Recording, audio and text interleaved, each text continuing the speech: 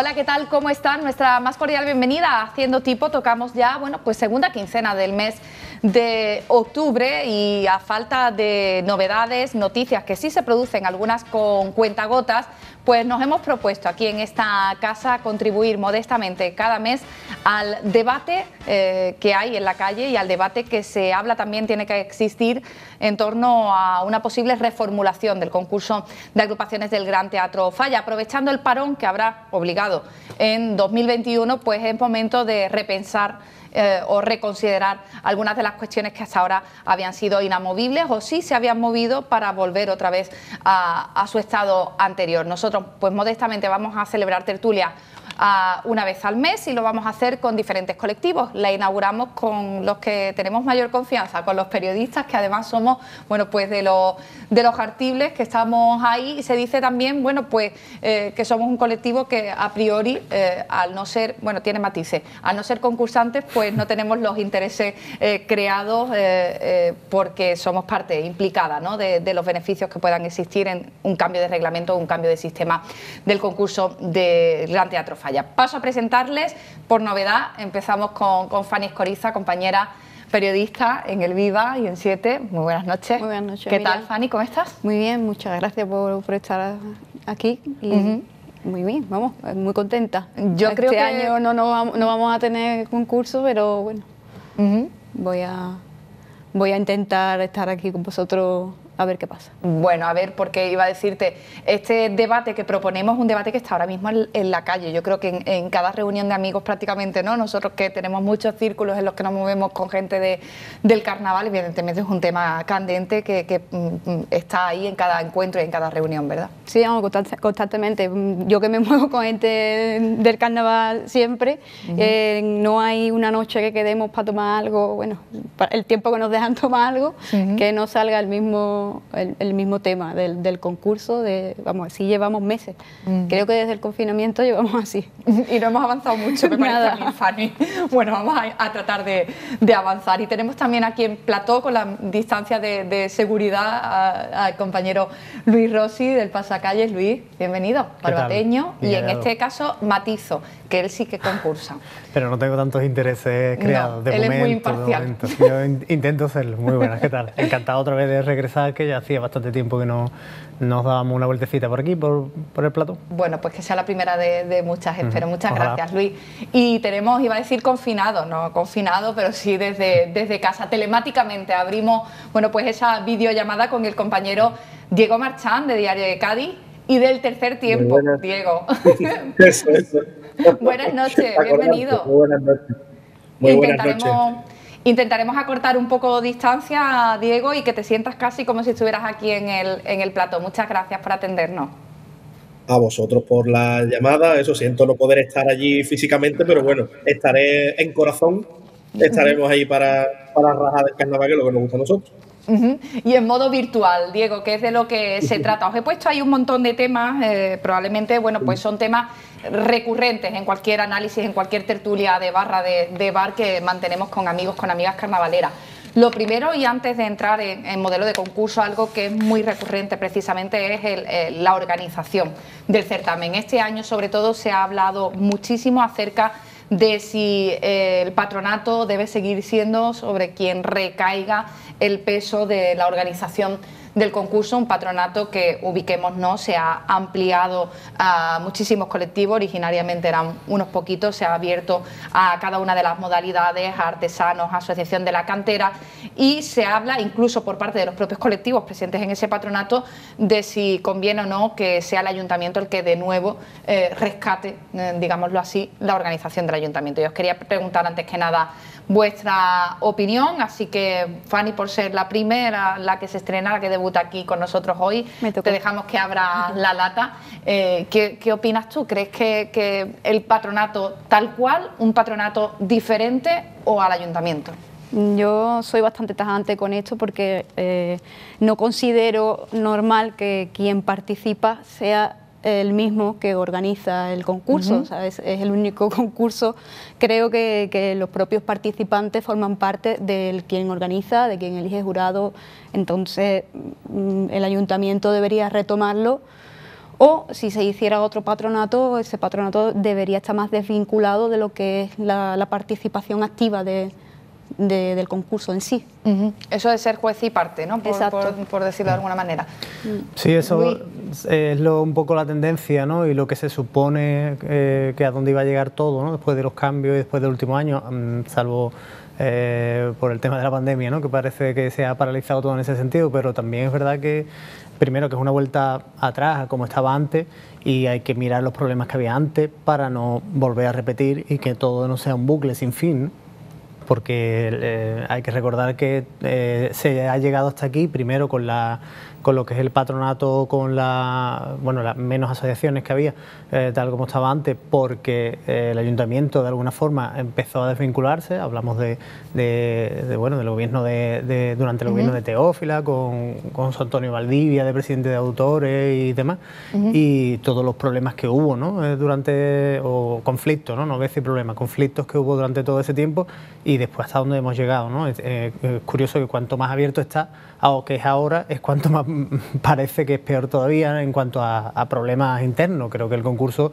sale, funciona y sale adelante. Otra cosa son los matices o lo que podamos mejorar, que por supuesto estamos eh, está todo más que abierto. Pero en cuanto a, al volver atrás, como dice Fanny, estoy con ella, pero que que hagamos, recapitulemos un poco y que hagamos historia, digamos, y que Examen de conciencia un poco, claro, leamos el porqué el tiempos de la Fundación Gaditana del Carnaval, ¿no? También con, con, aquellos años de...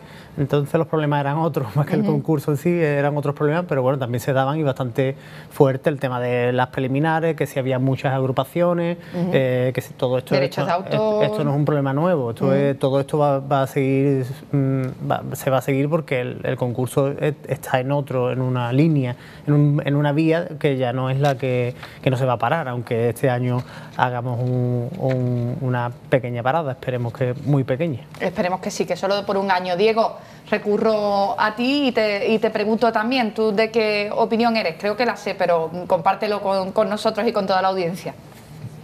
Sí, bueno, a ver, yo lo primero, creo que se habla mucho, como vosotros bien decís, de ahí este debate de los cambios que hay que hacer el concurso, que el concurso mm, no vale como está, pero en realidad se ven pocas propuestas. Es decir, mucha gente habla de cambiarlo, pero muy pocos dicen qué es lo que habría que hacer con el concurso. Yo respecto al tema del patronato sí lo tengo bastante claro y creo que debería pasar a, manos municipales es lo más sensato. Creo que en el momento en el que se hizo fue porque bueno, el ayuntamiento quiso de alguna manera trasladar este problema, pero ahora mismo yo creo que estaría bien que, que eso, como dicen mis compañeros, no es normal que, el concurso lo organicen los participantes y además siempre desde una perspectiva un poco, mm, no sé si decir egoísta, pero sí que es verdad que van cambiando un poco las normas según vayan afectándole situaciones personales y eso sí que creo que no debería ocurrir jamás entonces yo creo que lo mejor es que esto se haga mm, con el ayuntamiento como base y oye que los colectivos se les escuche para todo, que por supuesto son fundamentales también porque ellos son los que más saben de las fiestas, pero que, que sean, que no tengan ellos la última palabra. Eso es lo que me parece más importante. Yo quiero también hacer un ejercicio de memoria y cómo hemos asistido incluso a situaciones, por ejemplo, os quiero recordar cuando se hacía el cuadrante para el sorteo del orden de actuaciones y ahora de repente se desataba el conflicto entre modalidades porque se había privilegiado un mayor cupo de una, un mayor cupo de otras, el que uno eh, tuvieran una ubicación a priori que podría ser entendida mejor posicionada en la distribución de las sesiones y, esta guerra interna dentro de los propios eh, colectivos y que me parece que, eh, dice mucho acerca de este modelo, ¿no? claro, bueno, es que cada uno va a barrer para lo suyo, ¿no? Entonces nadie va a estar contento siempre con todo. Es muy difícil y, entiendo, como dice Diego, ¿no? Nadie hacer propuestas, porque claro, es muy difícil encontrar una propuesta que satisfaga a todo el mundo. Siempre va a haber un, colectivo o un sector que, no le va a gustar, pero bueno, tendríamos, tendríamos que hacer por buscar algo que, que favorezca al concurso en sí y no simplemente a una u otra a otra modalidad. ¿no? Sí, la, opción es eh, lógicamente un, un árbitro, ¿no? una persona o bueno, una persona o un, órgano, lo que sea que no tenga nada que ver. El problema es cuando esa, si por ejemplo eh, decimos que es el ayuntamiento Eh, ahora, bueno, todos conocemos mm, las vinculaciones con el carnaval que hay ahora mismo en el equipo de gobierno, por ejemplo, pero en un futuro que bueno, no tiene por qué en Cádiz mucho más que carnaval, aunque no, aunque me duela la boca decirlo, me duele un poquito, pero eh, entendemos por dónde voy. Eh, el Cádiz mucho más, entonces si el, algún año, alguna legislatura hay eh, gente en el ayuntamiento que no es no están conocedoras de los problemas auténticos del carnaval, del concurso, bueno, no, eso, de los problemas no, de, lo, de cómo funciona el concurso, pues entonces ahí es donde vamos a tener el, problema. Lógicamente tiene que ir acompañado de un órgano consultivo, o ya, llamémosle patronato B, en B, o lo que sea, que, que, se encargue un poco también de, de trasladar lo, lo que, un poco los problemas que hay en el concurso, o que se entiende, o que las agrupaciones entienden, y que alguien diga, no, bueno, vale, pero lo que dice Fanny, el, a ti no te voy a dar más por ser un coro o por ser un cuarteto o por ser, sino vamos a ir de una, todos de la misma, de la misma mano, por lo menos en modalidades, ya después hay tantas y tantas aristas que, que, tiene que hay trabajo suficiente. Eh, Diego, es una de las fórmulas que se había planteado incluso también, ¿no? El que el concurso eh, recayera de nuevo sobre el ayuntamiento y que el patronato quedara más como algo consultivo, un comité de expertos al que recurrir para asesorarse, para, bueno, en un momento dado eh, tener cierta opinión, pero no que fuera, eh, no que tuviera carácter vinculante lo que dijera ese, esos colectivos. Claro, sobre todo porque eso, porque su opinión es verdad que es importante y es muy a tener en cuenta porque al final son los que están dentro, pero no puede ser la última palabra, como decía antes. Vamos, yo recuerdo situaciones que para mí, para mí son graves, como hace, creo que fue dos, tres años, cuando un autor y miembro del patronato se enfada en cuarto porque su agrupación no va a verla mucha gente y decide quitar los descansos en las dos siguientes fases que quedaban de concurso, que eran semifinales y final. O sea, a mí eso me parece gravísimo, que a mitad de concurso, por un enfado personal, porque al final no deja de, ser un poco eso, se tome esa decisión a, la ligera y antes incluso de consultarlo, o sea, como una muestra de poder de esto va a salir y salió. No sé, yo creo que esas cosas deberían, deberían terminarse y debería ser lo ideal, sería que se hiciera todo con presentación, con cabeza, bien pensado y con tiempo. Ahora, de hecho, tenemos una buena oportunidad. Se supone que va a quedar todavía por lo menos un año y pico hasta el próximo concurso. Pues bueno, es momento de, plantear este tipo de cosas para que no haya improvisación y no haya actuaciones sobre la marcha que además puedan perjudicar a otros o, al personal del teatro o a los que estamos allí trabajando, en fin, a mucha gente.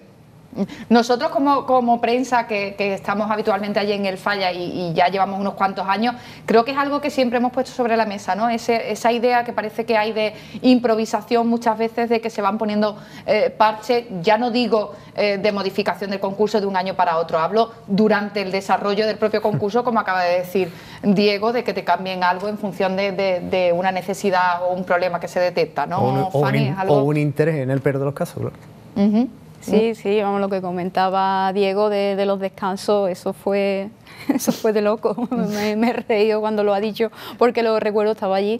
Y, pero es que al, final, eh, no sé si como en todo, pero el carnaval, eh, o, por lo menos el concurso, está lleno de una lucha de egos enorme y a lo mejor me va a caer gorda por, soltarlo, pero vamos, lo, sabemos todos. Es una eterna lucha de egos y de, yo soy más y, esto tiene que salir como yo quiera.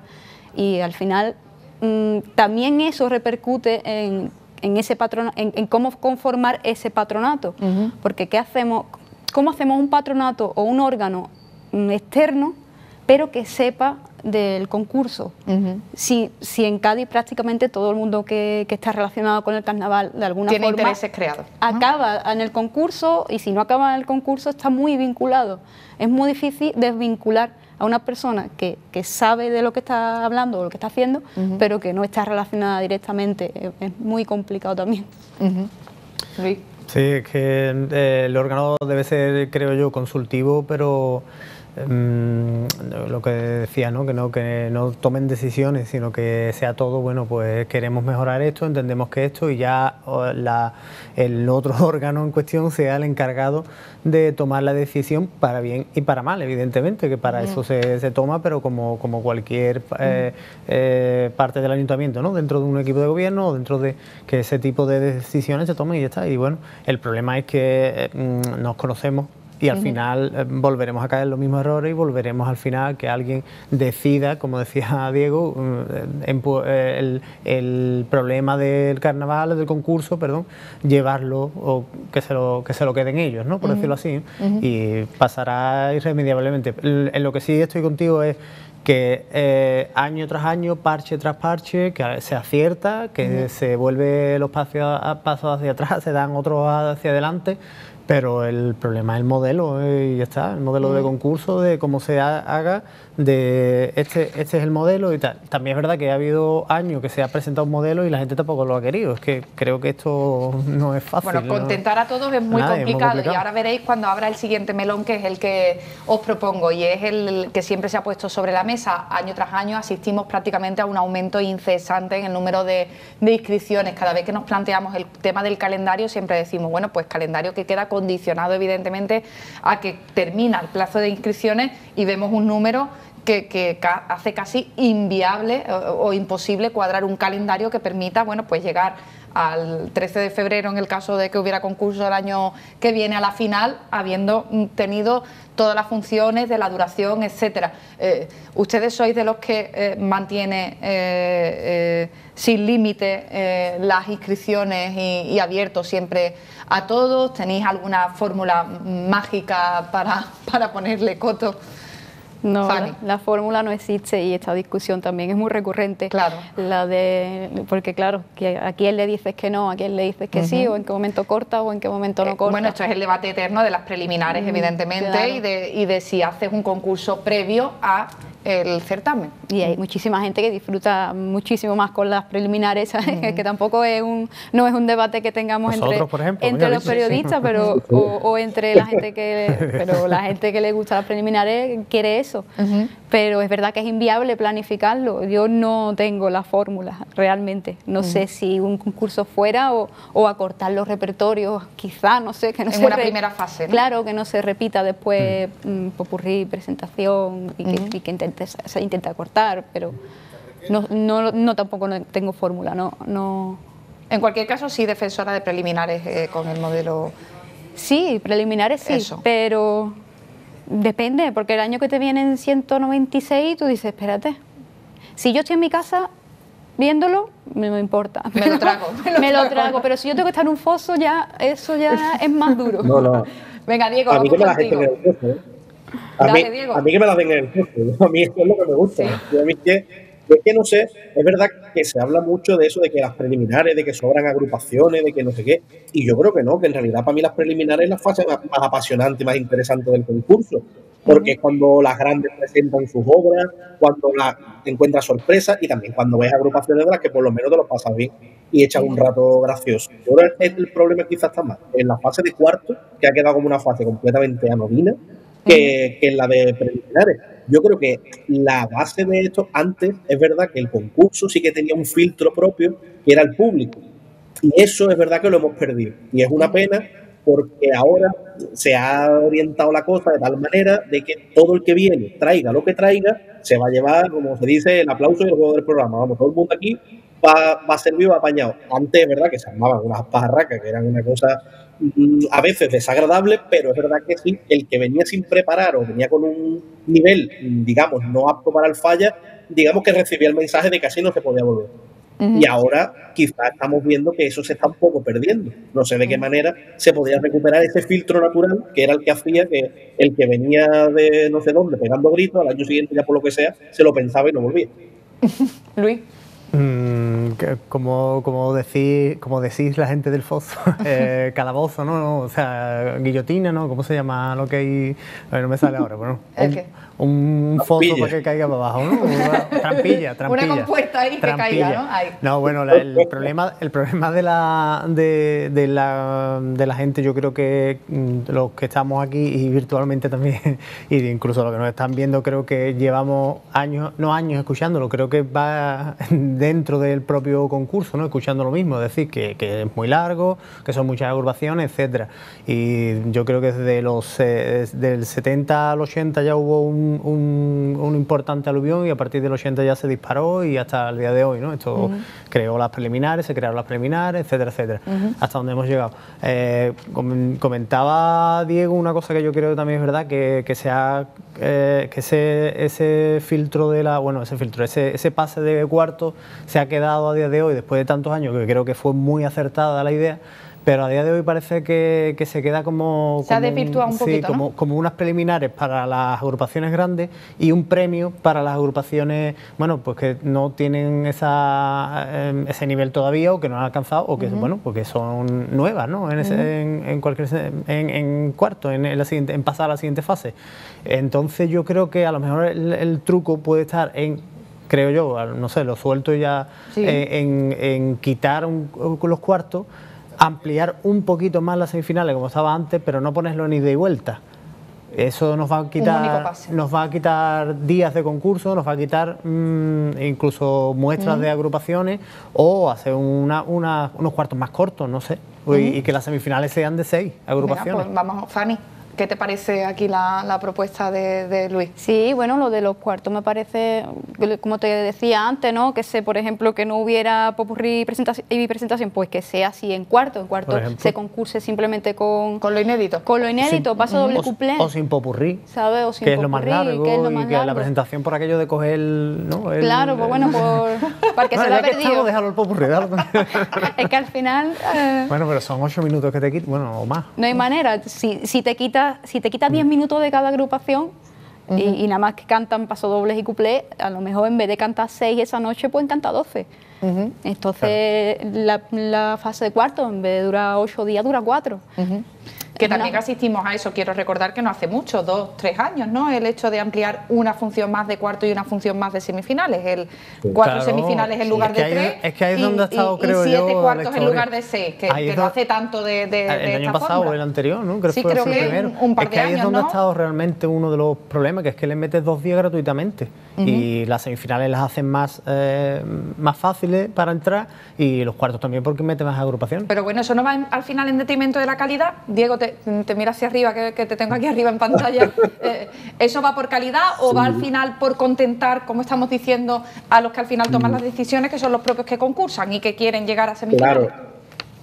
Yo creo que, como decía Luis, hay, hay agrupaciones que consiguen el pase como un regalo, y es que en realidad el pase no tendría que ser un regalo, tendría que ser un mérito que tú consigues y no dar un pase más, o deberían darse eso. Este año lo comentábamos alguna vez así de broma que deberíamos dar pases honoríficos en plan, esta comparsa ha estado muy bien en, preliminares. Mm, debería pasar, pero no pasa. O sea, hay una menos, porque es verdad que después bueno, eso ya pasa, el pase de ¿eh? cuarto.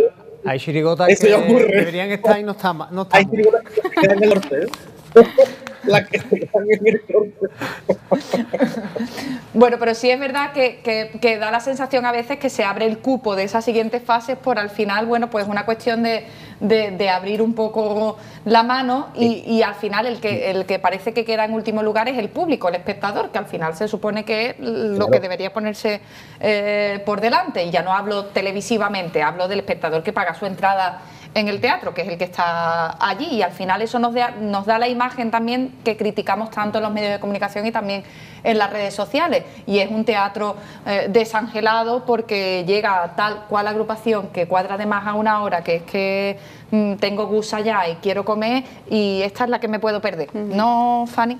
Exacto, pero ya entramos en... A ver, si hablas del público que está en casa, del, aficionado que está en casa y que ve el concurso de Peapa, ese le da igual que dure el concurso, tres meses, que estará encantadísimo. Conozco a mucha gente. Pero a lo que ibas de, la gente que está en el teatro, yo eso lo relaciono con lo que decía antes Diego, eh, de, que ya no existe ese filtro, de que viene algo que no tiene la calidad que debería y el teatro pues, se lo come, ¿sabes? Se lo come y, no le demuestra nada, o se va con el móvil, o se sale. Entonces, eso al final perjudica también en la calidad de la propia agrupación. Es decir, el público, hemos abierto el teatro a todo, a todo ese público que si se cansa se va o si se cansa, que no es el verdadero aficionado que le da igual y que se lo va a pasar bien y que va a sacar rédito incluso de una mala agrupación. Y creo que también es un problema ahí que se retroalimenta, el tema de qué público tiene el mm. teatro. Ahora no me abráis ese melón que enseguida vamos a ese, pero ¿os acordáis cuándo fue el último telonazo? ¿Telonazo? telonazo, telonazo, eh, telonazo, porque el ambiente del falla se carga ah, a, una agrupación. El cuarteto que iba antes del cuarteto, ¿no? Mm, que recordamos que, que era de San Fernando. Puede ser, ¿no? Que iba como de tira cómica. Sí, puede ser. Superhéroe. del Cádiz. Sí, puede ser, ¿no? Que, y fue anterior al de, al de los mojones, perdón sí, por la... Yo creo que puede ser 2013, porque me parece recordar que fue el primer año de Enrique Miranda conmigo, que yo cuando mm. empezó el cuarteto le dije, no acaba. Y me dijo, no, digo, ya verá. Y, fue un poco presagio porque efectivamente no acabó y le dio telonazo sin ser un mal cuarteto, que bueno, ya entramos en el tema del ambiente. Sin ser un cuarteto que, Nos hemos se muchísimas cosas. Mm, Ahora, el último telonazo como de, por reglamento, ¿Mm? habría que mirar, pero creo que fue el de la comparsa de los... ¿eh? De los molares, ¿eh? Pero que, hace muchos años, es lo que os quiero decir, que un poco por mm. reforzar lo que está diciendo Fanny del ambiente del público, de ese gallinero que, replica una actuación porque se aburre o porque... Eh, es que el concurso es un órgano vivo, por decirlo así, y eh, hemos llegado a ese respeto, el público ha llegado a ese respeto porque ha habido mucha falta de respeto, igual que antes se le gritaba campeones y ahora se ha dejado de gritar campeones. Pero porque se ha llegado al mismo concurso, ha pedido eso, o la gente, los aficionados, todo el mundo.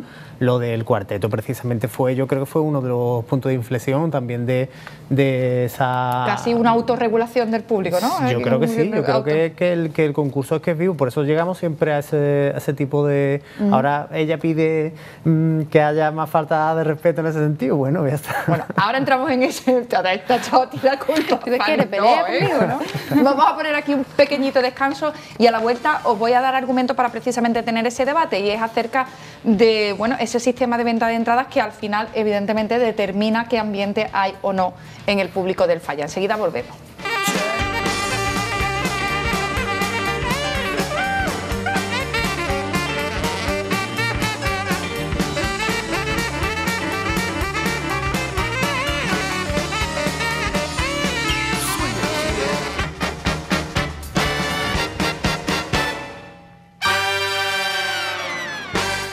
Bueno, pues aquí seguimos, ¿eh? nuestro saloncito de Haciendo Tipo, eh, nuestro plató con Fanny Escoriza, con Luis Rossi, compañeros eh, periodistas del Grupo Información, del Pasacalles y también virtualmente o telemáticamente el compañero Diego Marchán de Diario de Cádiz y el Tercer Tiempo, que no se me olvide, y a cuyo el resto de componentes mandamos un besito muy fuerte, que son otros de... Un día tendremos que hacer la tertulia temática del Tercer Tiempo, Diego. Ahí está, ¿eh?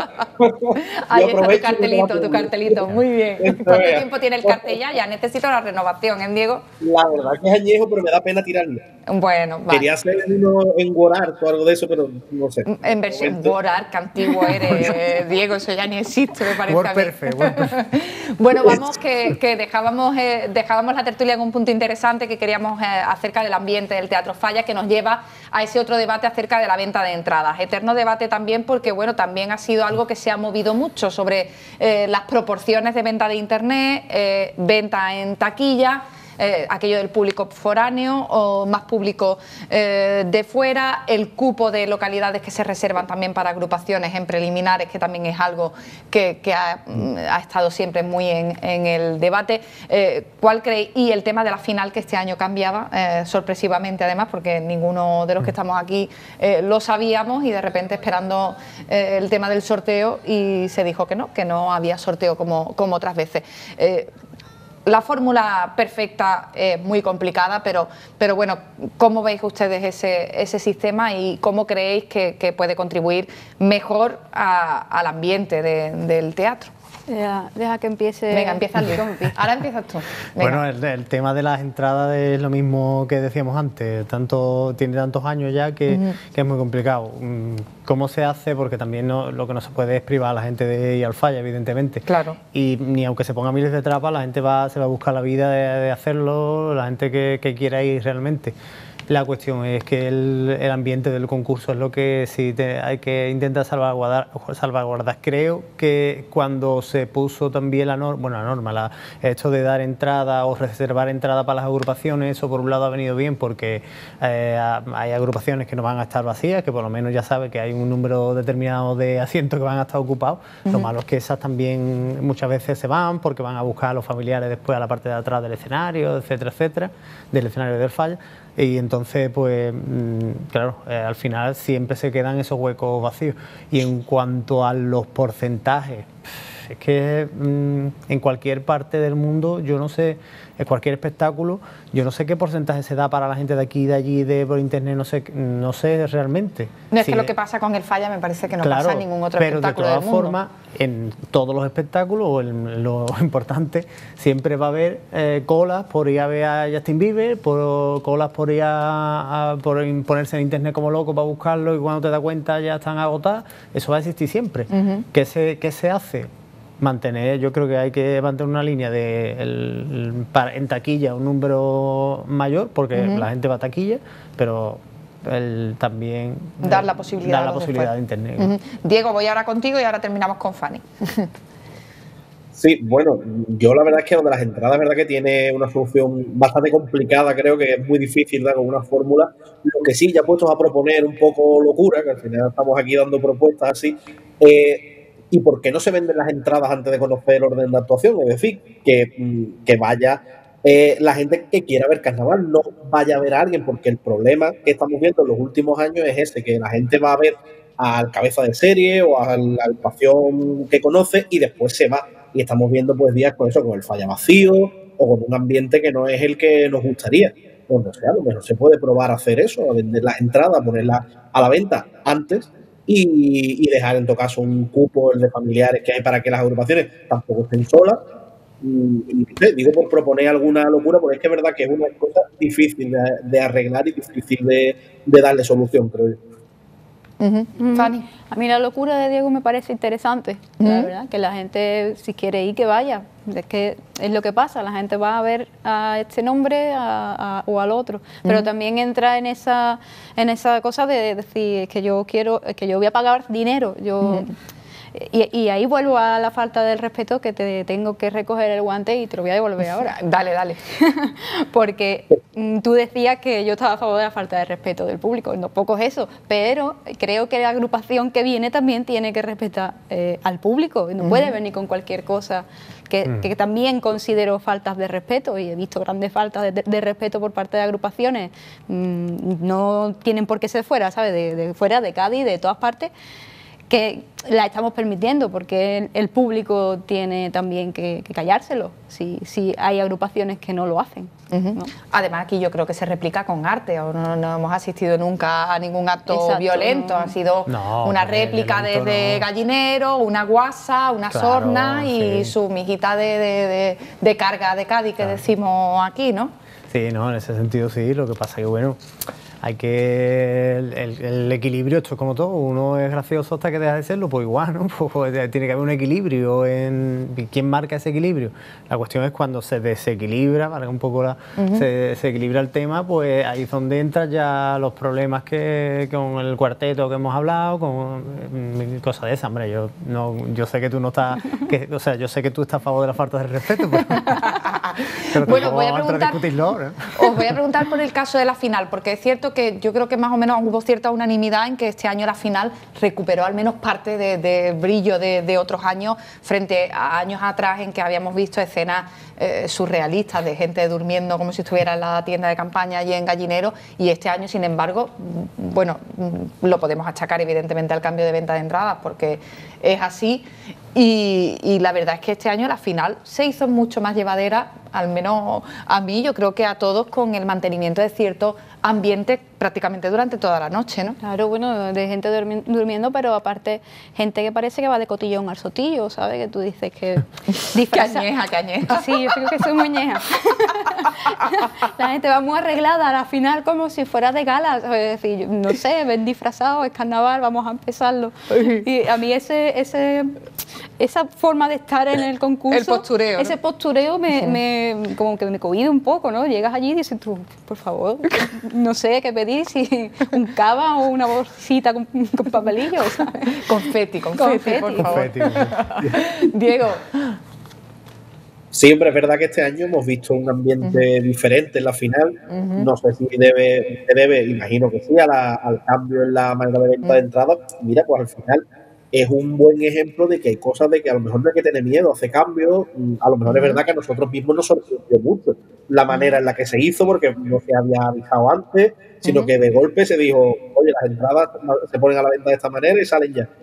Es verdad que nos sorprendió, pero bueno, si los hechos demuestran que a lo mejor ha sido bueno para el ambiente, oye, pues un acierto y hay que valorarlo y ver que es una buena idea, pues a lo mejor es que es un camino a seguir.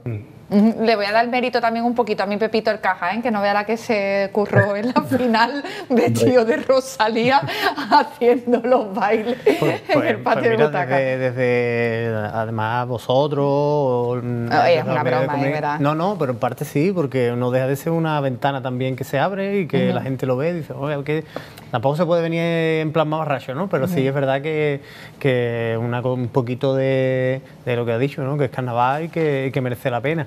Eh, mm, pero yo insisto en, lo, del ser un ser vivo que es el propio concurso, que esto se ha cantado muchas veces en los últimos años hasta que se ha conseguido, ya bien sea por mérito de, del que inventó las entradas, el sistema de entrada ese, o bien porque realmente la gente ya lo va captando, o bien porque había más gente de dentro que de fuera, o más aficionada que, gente que venía a ver, a ver cómo era el falla y que chiquitito es el falla parecía más grande en la tele. Pero es verdad que, que yo creo que es que se, se le ha cantado y se sigue. Se le, bueno, en la final hemos escuchado mucho paso doble dedicado a, cómo estaba la final, ¿no? Incluso en el. Por lo menos desde Caimán se le está cantando al ambiente de la final del Falla. Entonces era con los políticos y ahora es con el propio. Eh, mm, eh, los propios espectadores, ¿no? Pues voy a proponeros otro tema también bastante recurrente, porque esto es cíclico, es un concurso vivo en el que hoy se hace de una manera, el año pasado fue anterior, ahora volvemos al de hace varios años y, vuelta a empezar. ¿no? Prácticamente está todo inventado, eso sí tenemos que decirlo, pero con respecto al sistema de puntuaciones es una de las cuestiones que también ha tenido muchos vaivenes.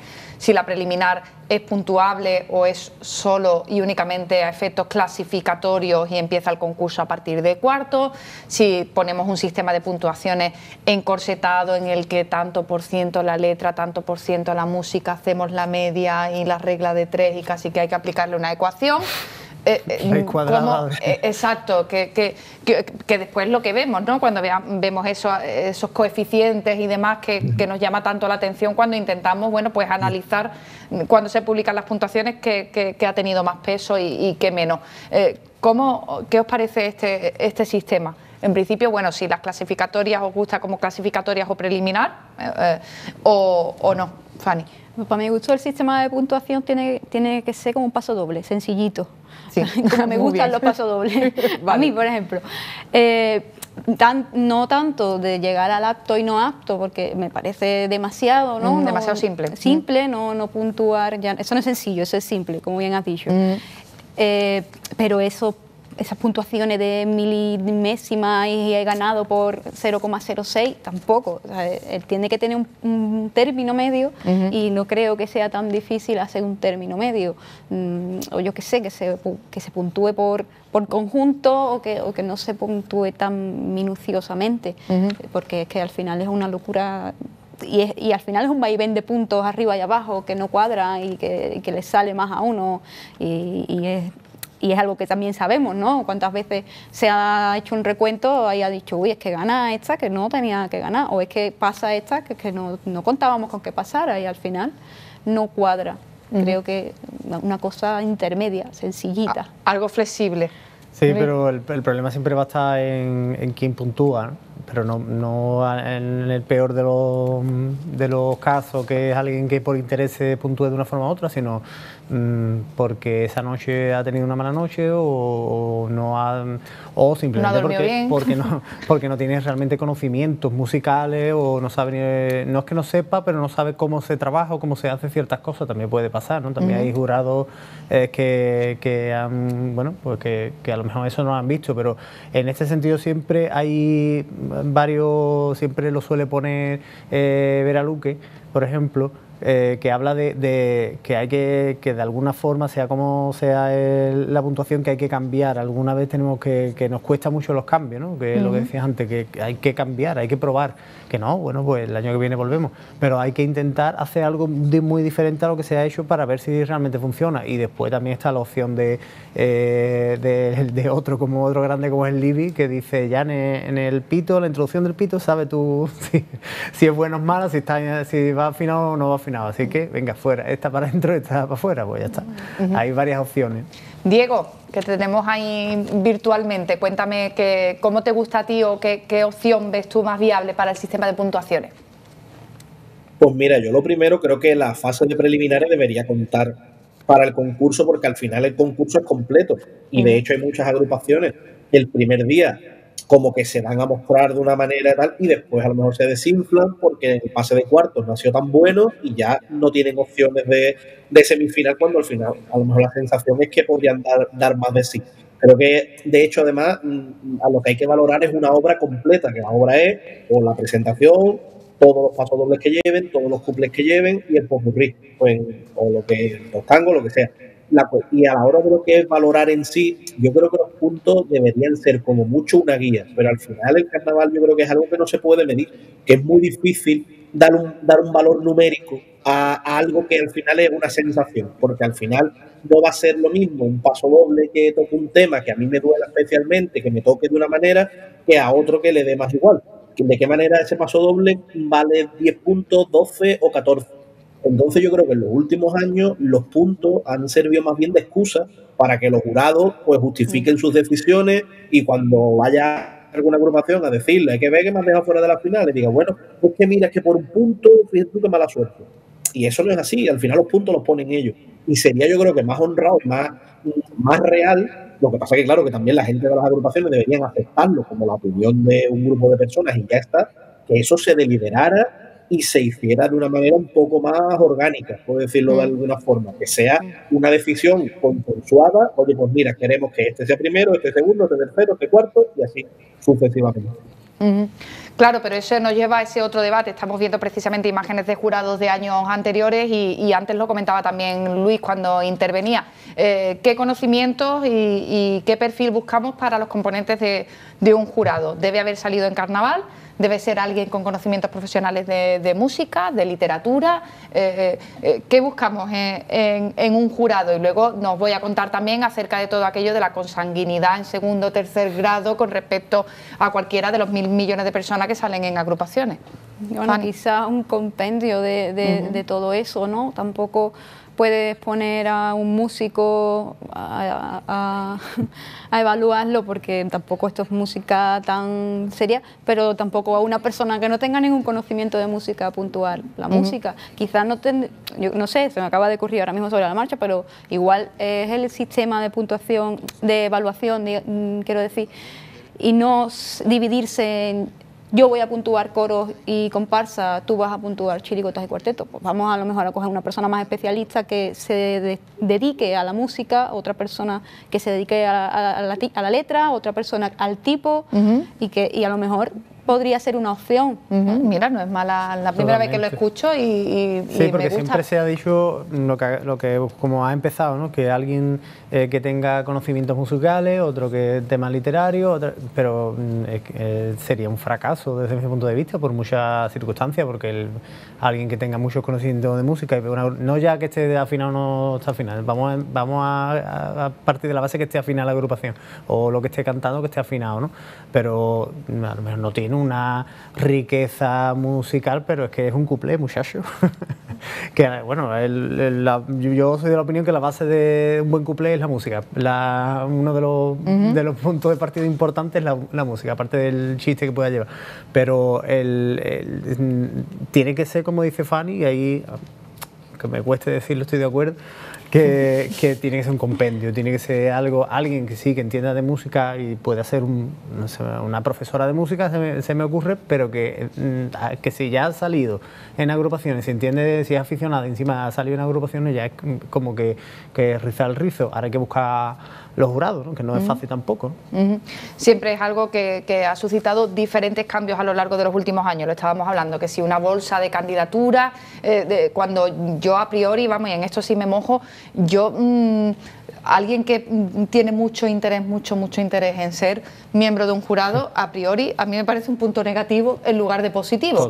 Eh, no por nada, sino porque nos lleva a preguntarnos el porqué de ese extremo interés por comerte un mes de, concurso, un montón de horas que tienes que compaginar además con tu trabajo, con tus obligaciones. Camacho, Manolo Camacho creo que, si no recuerdo mal, que fue él el que dijo que, que cuando lo nombraron o sea, antes incluso de haberlo nombrado ya estaba recibiendo llamadas de gente ofreciéndose, que gente muy válida, evidentemente, en algunos casos, pero que es verdad, ¿eh? Que no, no te lleva a ti, te da un poco, ¿no? Como de reparo, te escama, ¿no? El hecho de, ¿Y por qué hay mm, tanto interés? ¿Por, ¿Por privilegiar a alguien? ¿Porque es muy fan de, mm. quien sea? No sé, a mí eso a priori es algo que, siempre mm. me ha echado para atrás. Yo volvería otra vez a algo que ya he dicho al principio y es los egos que están en, este mundo y que de ahí no, no, nos van a sacar nadie, evidentemente. A mí me llama alguien que quiere ser jurado y espérate, que, ¿por qué quieres hacer eso? ¿Sabes? Si es un marronazo. ahí, lo has dicho, lo has es un marronazo. no, no Sí, bueno, pues también está en, mucha gente el mero hecho de ir a, todo el concurso, pero como mm, es positivo, ¿no? De ir a ver todo el concurso como aficionada o aficionado que quiera verlo, qué tal pues también está ahí, pero bueno, descárgate el, abono o bueno, intenta sacártelo. Para terminar os voy a pedir una reflexión, no podemos, eh, es increíble, pero llevamos todo el tiempo de tertulia sin haber pronunciado la palabra pandemia, oh, ni COVID, ni coronavirus. pues lo siento, pero, pero en esta última reflexión sí, sí nos va a tocar porque al final es lo que motiva este parón del concurso obligado de, de 2021. Os pido esa reflexión sobre, bueno, qué creéis que va a pasar. Evidentemente el concurso eh, tiene un parón, eso lo sabemos ya, eh, sí o sí. Está por ver si podrá haber algo de carnaval en el formato que sea, llámese un pequeño escenario, algo sin público o, lo que se pueda pero no tenéis un poco la sensación de que, de que el carnavalero o la carnavalera eh, algo al final va a intentar para, bueno, con la manera que se pueda, de la forma que nos lo permita las circunstancias, pues que al menos que tengamos algo de carnaval, ¿no? Sí, hombre, algo, algo saldrá porque... Eh, bueno, ya lo estamos viendo, ¿no? Cómo se están moviendo. es que mm. siempre sale, eh, ha salido en todas las épocas y, siempre ha salido reforzado incluso, ¿no? Eh, si miramos atrás, cuando se ha parado siempre se ha buscado la forma de, que el cante siga y cuando se ha recuperado después de un parón ha venido con, mucha más calidad. Entonces puede que este sea si es breve, que es lo que, es lo que va a ser, va a ser muy breve, quizá no, no sea suficiente como para, que notemos eso, pero bueno, por lo menos es una puntita. No sé. Mm.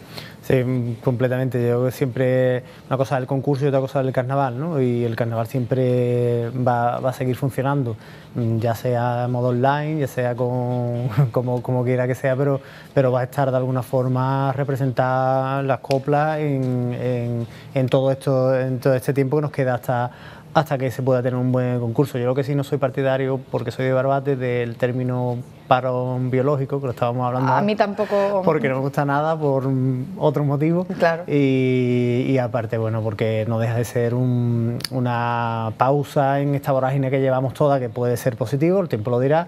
No creo que sea negativo, la verdad, pero sí es verdad que, a nivel personal de cada uno sí va a hacer un poquito negativo porque no, nos vamos a quedar un poco con la miel en los labios algunos, con las ganas que teníamos, las reuniones que habíamos tenido de ensayo ya rompiendo las cuartillas y cosas de esas, que, que ya es lo, es lo que hay.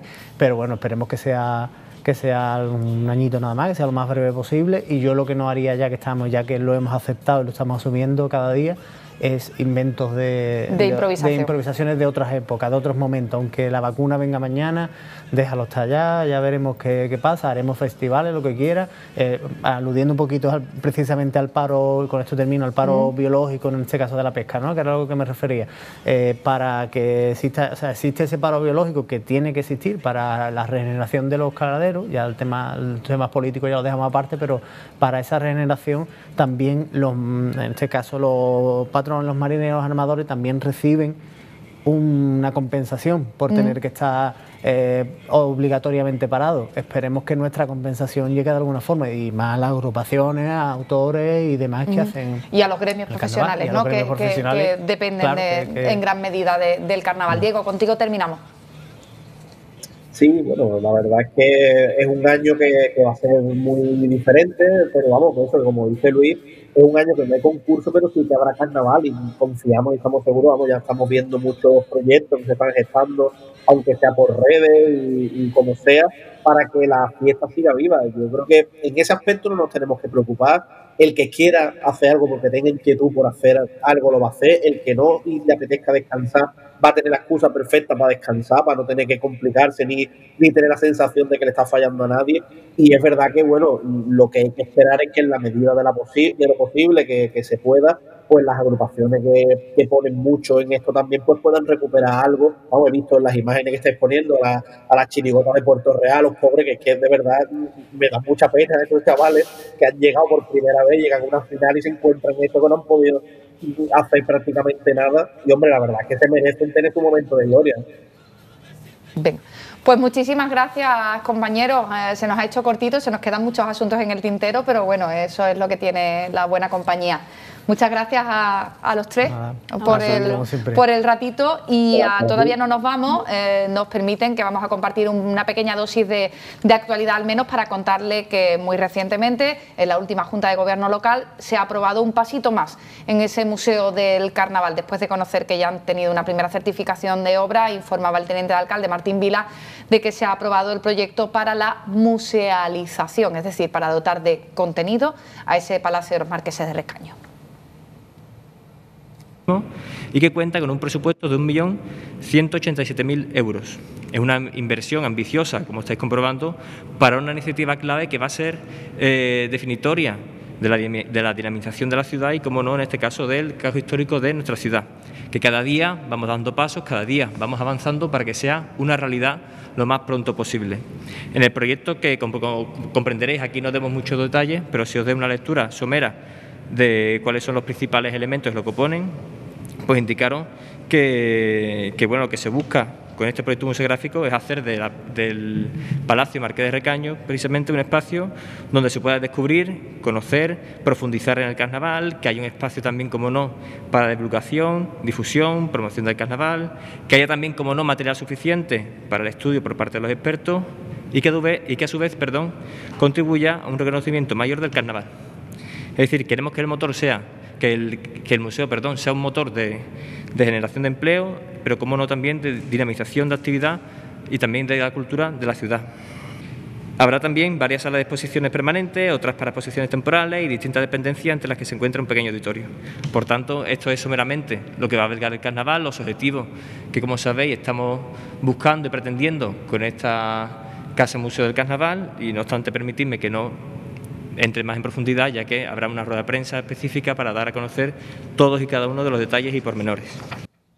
Bueno, pues ya nos enteraremos de esos detalles y pormenores. Nosotros ponemos el cierre ya y lo hacemos con coplas que no han sonado, han sonado los argumentos de nuestros compañeros de esta primera tertulia de la temporada, pero nos vamos a despedir con un cierre musical en la voz de una de las grandes voces, uno de los grandes intérpretes de nuestro carnaval, Dani Obregón, y uno de los grandes eh, intérpretes también, uno de los grandes guitarras como es Perico Campo.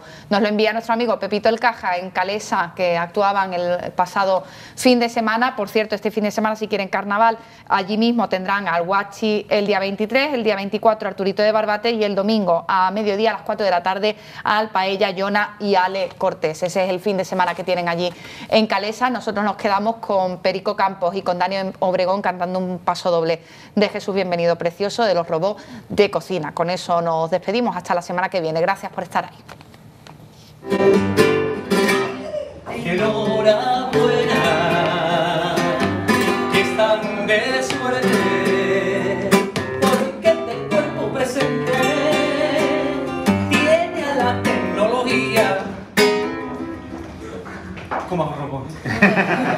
enhorabuena.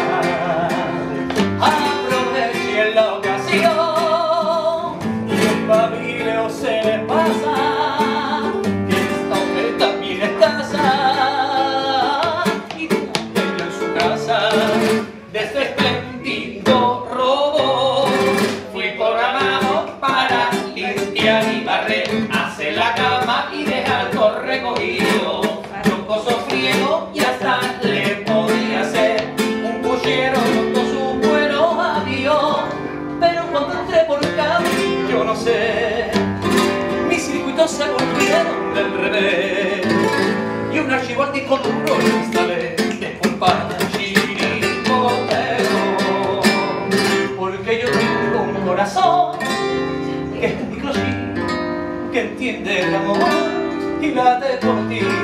Y aun siendo un robot tú me haces sentir como un ser